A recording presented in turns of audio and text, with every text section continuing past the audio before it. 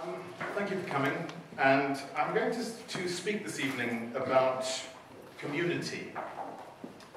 And in the spirit, I'd like to use this occasion to remember a friend and a Conradian mentor, Jacques Berthoud, who passed away recently. So I'd like us to remember him. Okay, I'm, I'm talking about Conrad the amazing or an amazing bloody foreigner.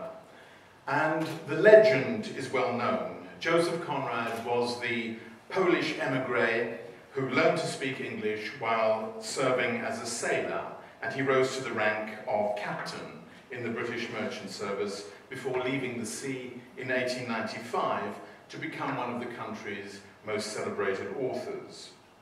So celebrated, as Philip said, that when F.R. Leavis identified the great tradition of the English novel, he included Conrad alongside Jane Austen, George Eliot, Charles Dickens, Henry James, and D.H. Lawrence. This too is part of the legend, because Conrad, as everybody knows, was writing in his third language, after Polish and French. Conrad was naturalized as a British subject in 1886 at the age of 28, just before passing his certificate for his master's, or the examination for his master's certificate. This meant that well over half of his life was spent as a British subject. Conrad's engagement with his adopted homeland was professional. He was a professional twice over. He was a professional sailor, and he was a professional writer. And professionalism, by definition, is exclusive. Citizen, uh, citizen, um, I'll get there in a moment. Citizenship, by contrast.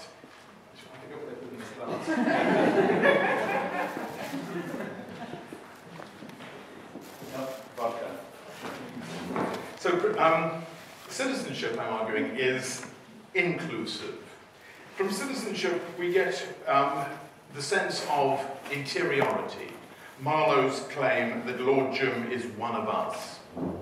So Conrad engages with England, he becomes a citizen, and yet in Virginia Woolf's fine obituary, published in the Times Literary Supplement, she begins, our guest has left us.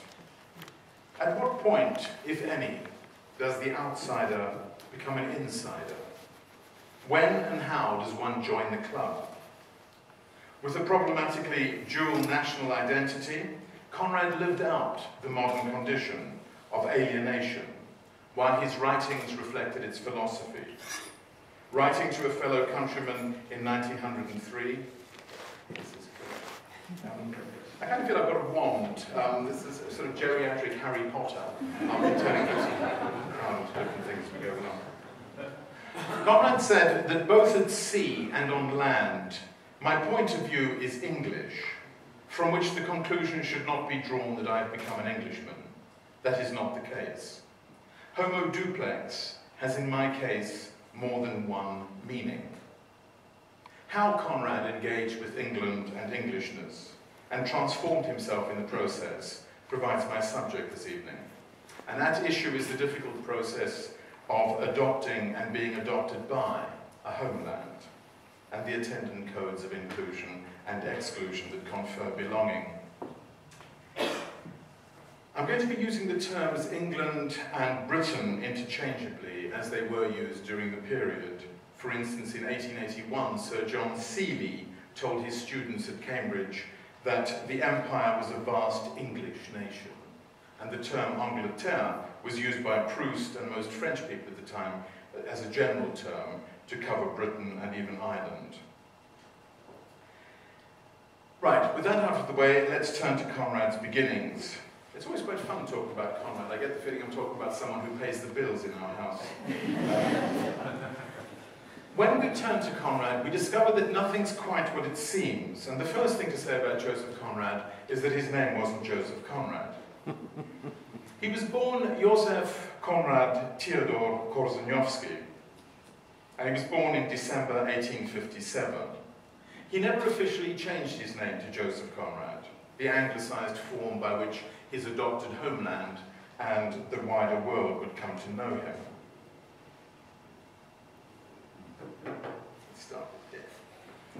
He's buried in Canterbury Cemetery, where, bearing his transnational identity, the name on his tombstone is a combination of the anglicized and Polish forms, with one of its terms, Theodore, misspelt. The second thing to note is that technically he wasn't Polish. Konrad's birthplace, Berdychev, is in Podolia, a part of the Polish Commonwealth appropriated into the Russian Ukraine in 1793. The Polish Republic would only be restored in 1918 after the First World War. So while Konrad was certainly born into a Polish heritage, and his parents, Apollo and Ava, would sacrifice themselves and Konrad's early years to the cause of Polish nationalism and to resisting imperialist, imperialist Russia, his Poland was a Poland of the heart, a homeland of the heart rather than a geographical fact. So strictly speaking, he was born a citizen of the Imperial Russian Empire. Konrad spoke of having two lives, and so to place him in his time, I shall take as my cue Bob Dylan's injunction, you didn't think you were going to get away with that, to take what you have gathered from coincidence. And I'm going to consider the coincidence of two years. 1857, the year of his birth, and 1895, uh, the year in which he published his first novel. And as we shall see, the contours of Joseph Conrad's life are designed, or seem designed, to shape our response to his art and to his engagement with England. So 1857, to orient ourselves, this is the year of Little Dorrit, it's the year of Barchester Towers, and the year of, of Tom Brown's school days. On the continent, it's the year of Baudelaire's Les Fleurs du Mal. But Conrad's birth year, 1857, links him, through historical coincidence, to the great national fact of the age, the British Empire. He shares the year of his birth with Sir Edward Elgar, whose music captured and contributed towards the popular patriotic mood in such well-known pieces as Imperial March, 1897, the Coronation March, 1901, and Empire March, 1924, coincidentally the year of Conrad's death. Also in 1857, in his Cambridge University address, David Livingstone urged, I go back to Africa to try to make an open path for commerce and Christianity, carry out the work which I have begun. I leave it with you. This was the year in which the British explorers Richard Burton and John Speke discovered Lake Tanganyika. The following year, Speke found Lake Victoria. Recalling his boyhood and his education, Conrad wrote, I stand here confessed as a contemporary of the Great Lakes. 1857 is also the year of the Indian Mutiny, sometimes regarded as the first step towards the united independence movement in India, the challenge posed to imperial rule was slight, but like the, the Crimean War just before it and the two Boer Wars later in the century, it was part of the gradual disenchantment with empire, part of the challenge to any lingering complacency in the existing order. So Elgar's music certainly celebrated Englishness, but did so in an era when empire, the empire that provides so much of its definition, was under threat. Perhaps inevitably it was when Britain's global and industrial supremacy was waning that the expression of Englishness was at its most strident. Conrad described himself as the spoiled, adopted child of Great Britain and even of empire. But even as he was engaging with Great Britain, its relationship with Greater Britain was in the process of revision. In 1891, the poet of empire, Rudyard Kipling, could ask, and what should they know of England who only England know? A decade later, G.K. Chesterton reformulated this to ask an alternative question. What can they know of England who know only the world? So Conrad espouses his new national identity at a moment when the sense of Englishness was itself being reformulated. So where does Conrad fit into empire? Just before he turned 17, Conrad made what he would describe as a standing jump out of my racial surroundings and associations. He travelled by train to Marseille, securing work for a firm of ship owners, and his sea life began with three trips for the firm to the West Indies, each lasting about six months. After which he jumped ship, as it were, and joined a British vessel, thus beginning his 20 years in the British merchant service. In a splendid piece of self-mythologizing, Conrad describes this transformative moment in his life. He's working as a water clerk in Marseille harbour, ferrying a captain back to his ship, and his dinghy sails close to the ship's side. A few strokes brought us alongside, and it was then that for the very first time in my life, I heard myself addressed in English. The speech of my secret choice, of my future, of long friendships, of the deepest affections, of hours of toil and hours of ease, and of solitary hours too, of books read, of thoughts pursued, of remembered emotions, of my very dreams. And if, after being thus fashioned by it, in that part of me which cannot decay, I dare not claim it aloud as my own, then, at any rate, the speech of my children. The actual words addressed to Conrad, the words that inspire us, are nothing if not demotic, simply look out there. And yet they have the force of an epiphany, reminding us that one of the hallmarks of Conrad's writing is his capacity to transmute prosaic reality into art. The simple act of pushing against the ship to propel the dinghy away is rendered in sensuous, even sexual terms. And when I bore against the smooth flank of the first English ship I ever touched in my life, I felt it already throbbing under my open palm. Eat your heart out, Anne Summers.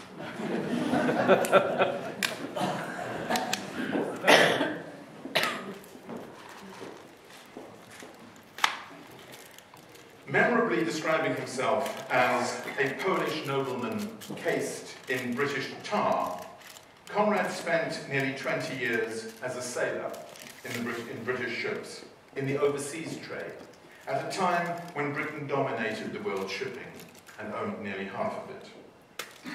This had practical uh, implications for the composition of crews because the national supply of sailors was unable to meet demand, so one third of the sailors in the British merchant marine were foreign, so uh, they were like Conrad.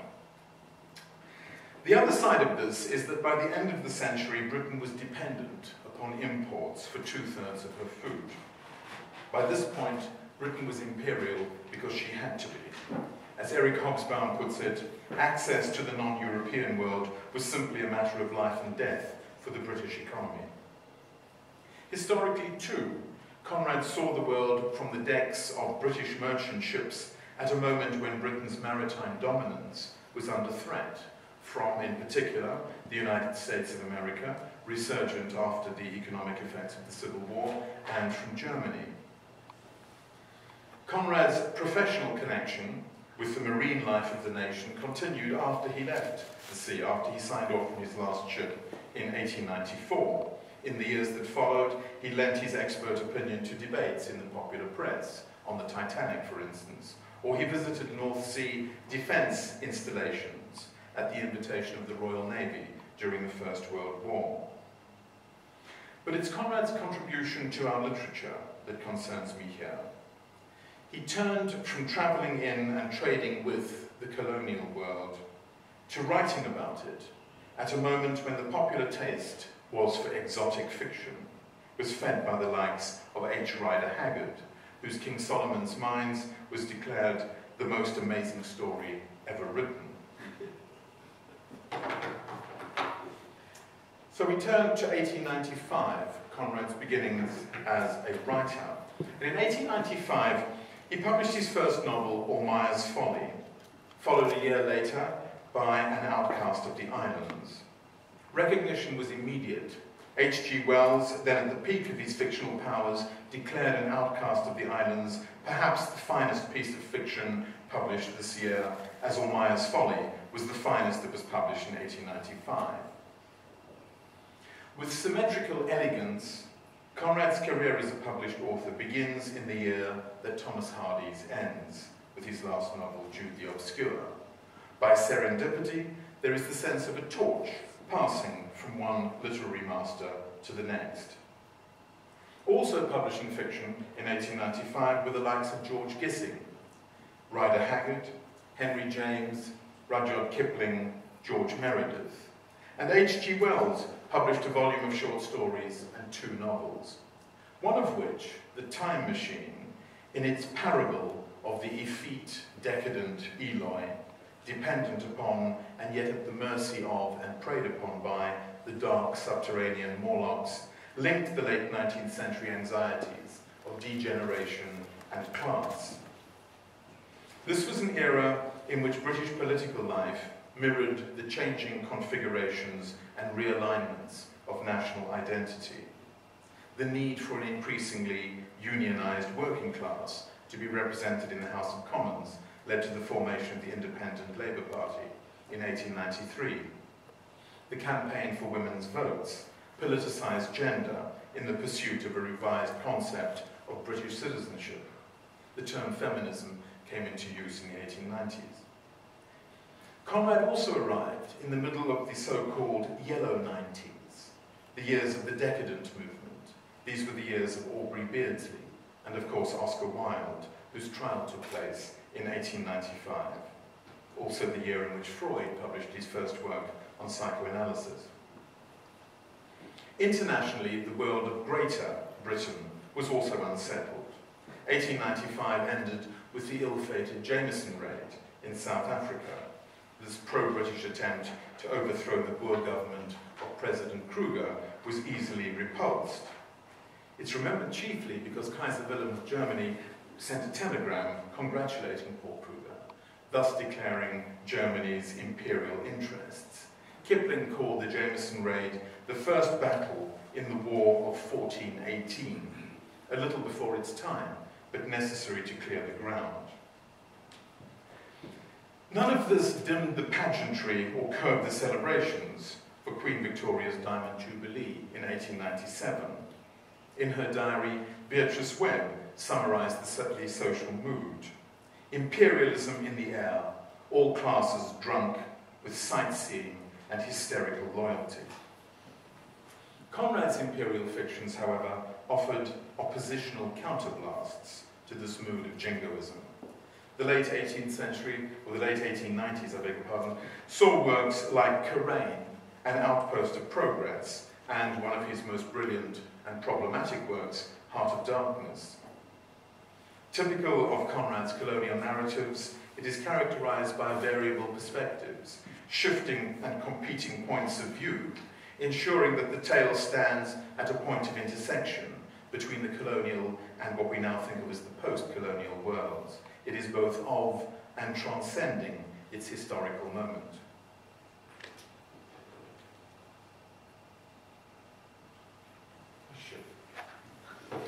and I want to turn to Conrad, the sea writer.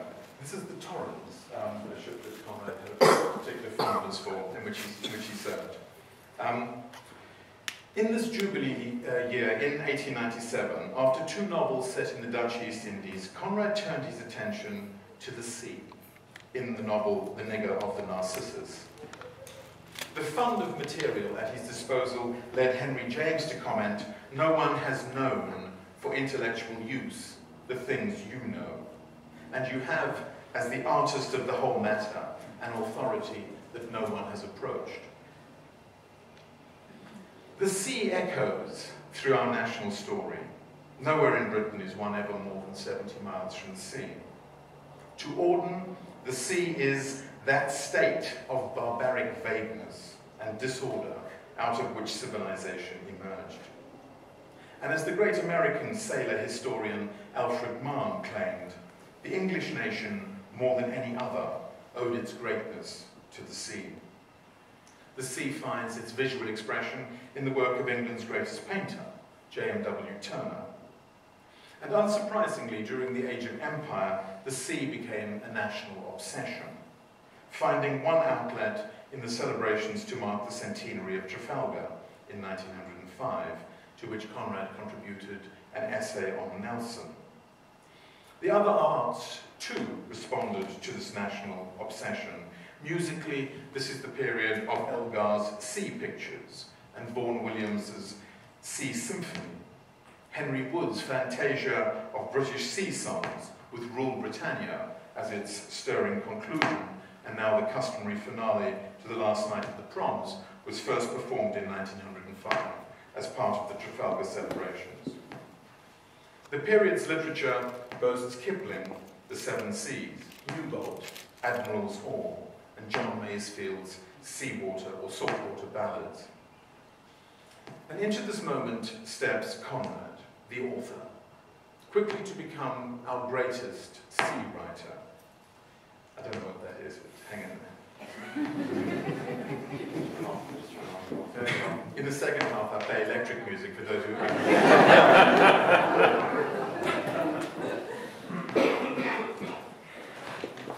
An early review in the New York Times said, Mr. Conrad, like Britannia, rules the waves.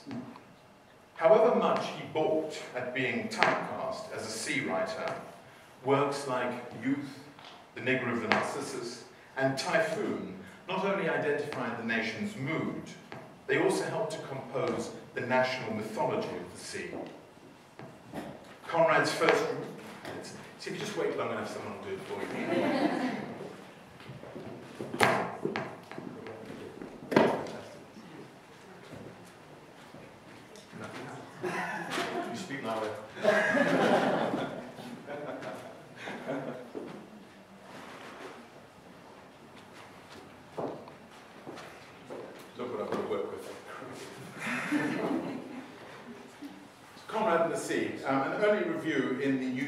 Times argue that Conrad, like Britannia, rules the waves. And although Conrad balked at this categorization of him as a sea writer, he was immediately appropriated. His writings about the sea were, were taken into the nation's myth kitty.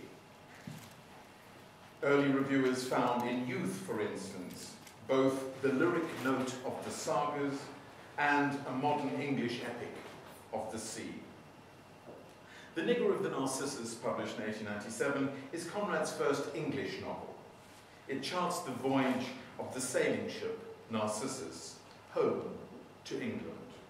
And at the end of the journey, England herself is mythopoetically transformed, transformed into a great ship. A great ship. For ages had the ocean battered in vain her enduring sides. She was there when the world was vaster, and darker, when the sea was great and mysterious and ready to surrender the prize of fame to audacious men. A ship mother of fleets and nations, the great flagship of the race, stronger than the storms and anchored in the open sea. And we shouldn't be surprised that it took an outsider to become our great fabulist of the sea. It was, after all, another foreigner, Nikolaus Pevsner, who opened English eyes to their own architectural Pevsner's outsiderness, too, was noted and chided, as witnessed John Betjeman's public spat with the person that he called the Herr Professor Doctor. and Conrad clearly believed that his writings reflected the national impulse.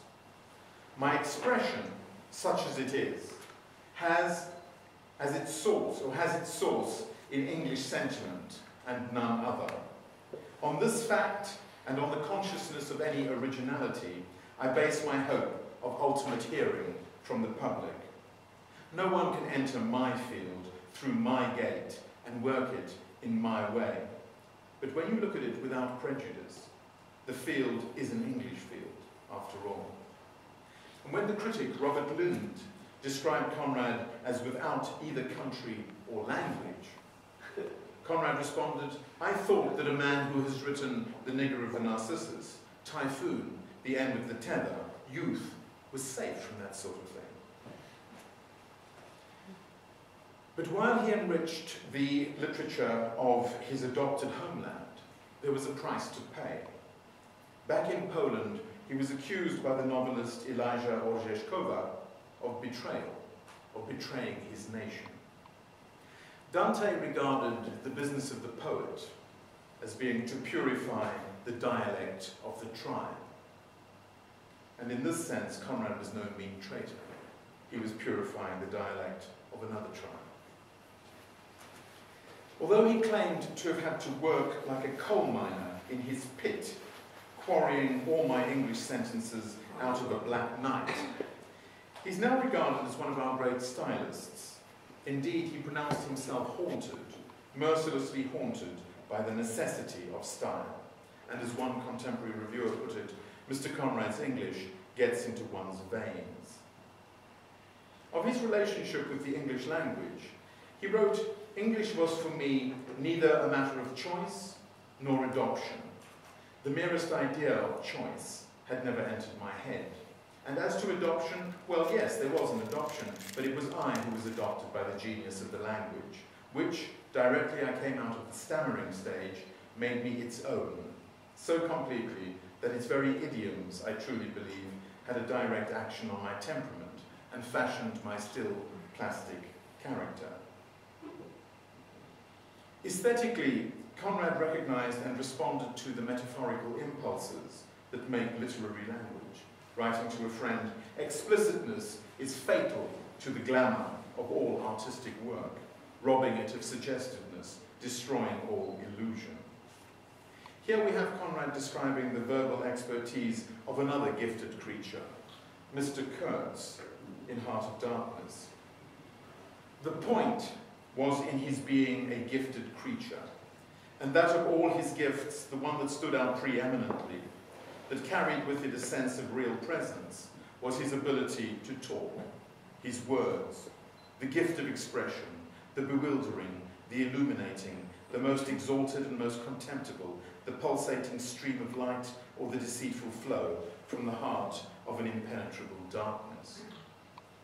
The writing here is guided by metaphors that offer invitations to interpretation while never yielding a single meaning. In this matter, or in this manner, Conrad's style negotiates a correspondence, the correspondence between words and the world that they describe. But Conrad went, went further than this. He brought English literature into relationship with colonial literature in particular through his intimate knowledge of the French masters like Flaubert and Maupassant. One measure of belonging to a literary community is intertextuality. In Michael Riffaterre's words, literariness is sought at the level where texts combine or signify by referring to other texts rather than to lesser science systems. In Conrad's pages, the English literary tradition is brought into dialogue with other literatures. The resulting hybrid form opens up new possibilities and gives new inflections to the English novel, and also accounts for some of the perceived strangeness in Conrad's writings, leading more than one critic to conclude that the works read like translations. To take but one and perhaps rather obvious example of this, here is a moment from early on in The Nigger of the Narcissus, involving two sailors who are new to the ship. All that happens is that one asks another for tobacco. Donkin changed his tone. Give us a bit of baccy, mate, he breathed out confidentially. I haven't had a smoke or chew for the last month. I'm ramping mad for it. Come on, old man. Don't be familiar, said the nigger. Donkin started and sat down on a chest nearby out of sheer surprise.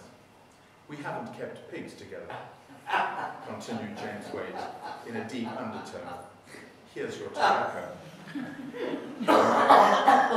the moment synthesizes a range of conflicting historical and political themes. Donkin is a cockney whose first words in the novel include the claims, I am an Englishman, I am, and I stood up for my rights like a good one. His Cockney status, and Wait will later refer to him as East End trash, does not prevent linguistic ventriloquism. The phrase old man sits oddly alongside dropped aspirates and colloquial speech habits. Donkin's collocutor, James Wait, is, we learn later, a native of St. Kitts, one of the Leeward Islands in the West Indies, and then part of the British Empire. It is Wait who gives the novella its stark, racist title. For all the talk of period usage, the term nigger was racially offensive at the time, and Wait responds to it as such within the novel. So although one would not guess it from their speech habits, this moment represents a meeting of colonizer and colonized. But what strikes one most when reading this exchange is that odd non-English put-down that associates familiarity with keeping pigs together. I would of course uh, keep warthogs with any of you. Um, and we're right to find it strange because it's based on a Polish proverb. So Conrad has turned to his first language to find an idiom required in his third. The fact that this is employed by a St. Kitts native only adds to the complex humour of the moment. This is further inflected when one adds that the Narcissus is about to sail home to England from Bombay Harbour. The year of publication of the novel is 1897, the year when Queen Victoria, Empress of India, celebrated her Diamond Jubilee. And I want to stay with this novel just a bit longer. In the great storm scene later on, the Narcissus is turned onto her side. This is off the, co the, the, the, um, uh, coast of southern Africa. And the sailors are forced to cling to the decks in order to, to survive. Whilst doing so, they suddenly realize that James Wait is trapped in his cabin, presumably below the waterline. He's in a sick bay, since he's clearly dying, um, and he's trapped. So a small rescue party is assembled and sets off. They discover that in order to free Wait, they're going to have to drop into a carpenter's room through the doorway and break through a wall to get into the adjoining cabin. It's dangerous. There's a mess of the carpenter's tools that have been thrown off of shelves as the ship has, has, has lurched. Once they get down, they discover the contents of the carpenter's store on what is now the floor, and they have to pick their way through this to get at the wall. And this is what they have to dig through. At the bottom, the nails lay in a layer several inches thick. It was ghastly. Every nail in the world, not driven in firmly somewhere, seemed to have found its way into that carpenter's shop. There they were, of all kinds, the remnants of stores from seven voyages, tin tacks, copper tacks, sharp as needles, pump nails with big heads, like tiny, tiny iron mushrooms, nails without any heads, horrible, French nails, polished and slim. They lay in a solid mass, more inabordable than a hedgehog. The odd word inabordable is French, meaning inaccessible. The point here, though, is this, this drop into the carpenter's shop is simultaneously a descent into the quotidian. Heroic rescue encounters prosaic reality. A feature of art is its capacity to find the extraordinary in the ordinary. As Baudelaire said of Delacroix's paintings, he captures the infinite in the finite. In one of his late great poems entitled The Circus Animal's Desertion, W.B. Yeats traced the source of his inspiration to what he called the foul rag and bone shop of the heart. Here, the carpentry shop in a British merchant ship serves as a comparable, a comparable image of the humdrum source of Conradian inspiration. And the fact that its portrayal involves delving for a word in his second language only dramatizes the process.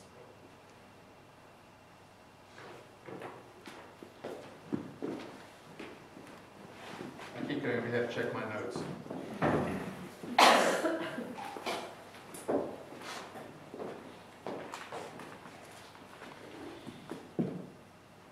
By general agreement, Conrad's major literary achievement is the trilogy of novels that spans the Edwardian period Nostromo, 1904, The Secret Agent, 1907, Under Western Eyes, 1911.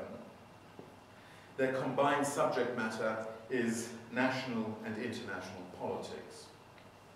The Edwardian era, the years between the death of Queen Victoria and the outbreak of the First World War, is often regarded as a sunlit period of calm between the old and the new orders, personified and presided over by the genial, somewhat self-indulgent figure of Edward VII, wittily referred to as Edward the Caresser by Henry James. Conrad's three political novels provide an ominous counterpoint to the period's optimism. His capacity to sustain a rigorously political focus at a moment when Western Europe teetered unknowingly on the edge of oblivion led George Orwell to declare that Conrad possessed a sort of grown-upness and political understanding which would have been almost impossible to a native English writer at the time. To George Steiner, the skepticism often detected in Conrad's fiction, too, has a political edge.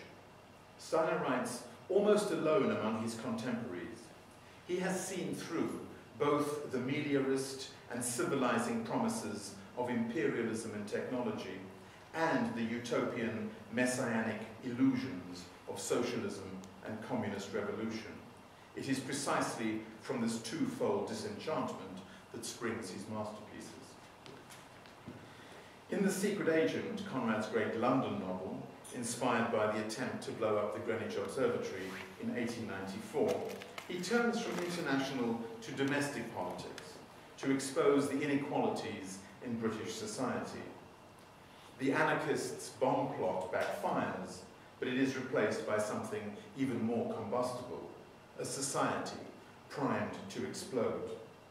And even while the plot is concerned with the factual contemporary debate over whether Britain should provide a haven for those fleeing political oppression, the subplot is concerned with the vexed state of the nation. Even the simple-minded Stevie can see that it's a bad world for poor people. Edward Garnett began his review of the novel, It is good for us English to have Mr. Conrad in our midst, visualizing for us life that we are, or life as we are constitutionally unable to perceive it. Conrad's most famous narrator, the sea captain, Marlow, is English, and he brings an English perspective to bear on his subject. When eulogizing that home, distant enough for all its hearthstones to be like one hearthstone in Lord Jim, home is England. Marlow's status, though, as character narrator means that he is both inside and outside his tales. According to John Galsworthy, Marlow, though English in name, is not so in nature. For his part, Conrad was stunned by any reminder of his foreignness. The title of this talk stems from one such occasion when he responded exasperatedly to criticism of the secret agent. I've been so cried up of late as a sort of freak, an amazing bloody foreigner writing in English. Conrad went out of his way to present himself as an English gentleman. For instance, recalling his visit to Conrad at home, the American writer and critic James Huneker said, his shrug and play of hands are Gallic or Polish, and his eyes, shiny or clouded, are not of our race. In a word, he's more foreign looking than I expected. And then he continues, yet he astonished me later in the afternoon by suddenly transforming himself into an Englishman. He sported a monocle. His expression was almost haughty as he drove me in his car over the smooth Kentish roads. The Slav had disappeared. Conrad's circle of friends provides a measure of his insider-outsider status. They include such anti-establishment figures as Edward and Constance Garnett, and Cunninghame Graham, the pioneer socialist and Scottish nationalist but also embraced such establishment figures as Sir Sidney Colvin and Edmund Gosse.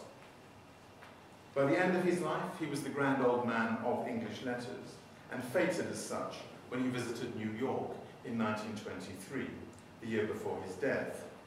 He turned down honorary degrees from various universities, including Oxford and Cambridge. And in 1924, he also refused the offer of a knighthood from the Prime Minister Ramsay MacDonald. Conrad's life and writing can be configured in terms of his sense of community.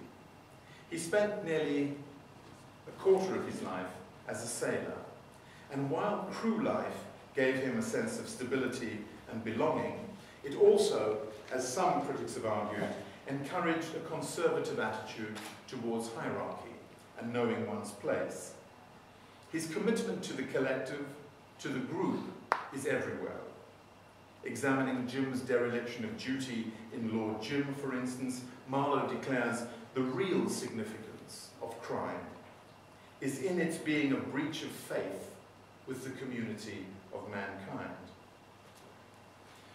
But as his flawed heroes demonstrate, Conrad's was not an idealized vision of humanity. And in later life, he would define the difference between himself and H.G. Wells as funda fundamental in these terms. He said, you don't care for humanity, but think they are to be improved. I love humanity, but I know they are not. Something courageous in that, in that acceptance. I began by saying that nothing is quite what it seems with Conrad. And this is no less true of his sense of England and Englishness. Conrad, the international sailor who travelled the world in the service of the British Merchant Marine, ended up living, as Virginia Woolf observed, in the depths of the country, out of earshot of gossips, beyond reach of hostesses. The Conrads moved house frequently, occupying eight rented residences in all, all in southern England, mainly in Kent. And he settled finally in the small, small Kentish village of Bishopsbourne, absorbed into English village life. The degree to which this absorption was complete was provided for us by another visitor to Conrad in the home Oswalds in Bishopsbourne in 1921. Having gained an invitation to the Conrads, he got to Bishopsbourne, another American um, interviewer, and decided that rather than going straight to the house, he would ask the locals, he would ask the people in the village what they knew of the grand old man of English letters in their midst. Here is his account. Sighting a man in the field, I called to him. He knew there were two boys, one at work in London, the other playing at farming, and he pointed to the hillock behind which he went on, uh, behind which he went on to say was the farm. No, he couldn't say anything about their father. He's a writing man, was the sum of his knowledge. No, he had not read any of his writings. No one I approached in the village had read his writings. And I thought of the prophet who remained a stranger to those about him. On a bulletin board on the rear wall of the church, I saw his name, among others, listed for parish duty of a sort. The sun had bleached the writing into invisibility almost. There's perhaps something crucial about blending in, becoming anonymous, becoming part of village life. But coexistent with this narrow, circumscribed world is the wider world outside. At the end of a writing career that began with novels set in the colonial world, Conrad's late fiction returns to European settings, turns to an engagement with 19th century European history for its frame of reference. In a letter of 1923, he wrote, I think that I'm not taking too much upon myself in saying that I'm a good European. Not exactly in the superficial cosmopolitan sense, but in the blood and bones, as it were, and as the result of a long heredity. Because unlike his parents, Conrad was not nationalist, he was internationalist. Proud of being British and clearly committed to the life of England he yet viewed Britain as part of a community, a community of nations. written in 1905, at the beginning of the 20th century, a century when the boundaries of nationality assumed ever greater significance, and when historical amnesia became a political weapon. Conrad's great essay, Autocracy and War, anticipates the European Union. In it, he calls for the solidarity of Europeanism, claiming that this solidarity must be the next step towards the advent of concord and justice, an advent that, however delayed by fatal worship of force and the errors of national selfishness, has been and remains the only possible goal of our program. Conrad the Kentishman is simultaneously Conrad the European, truly homo duplex, an amazing bloody foreigner. Thank you.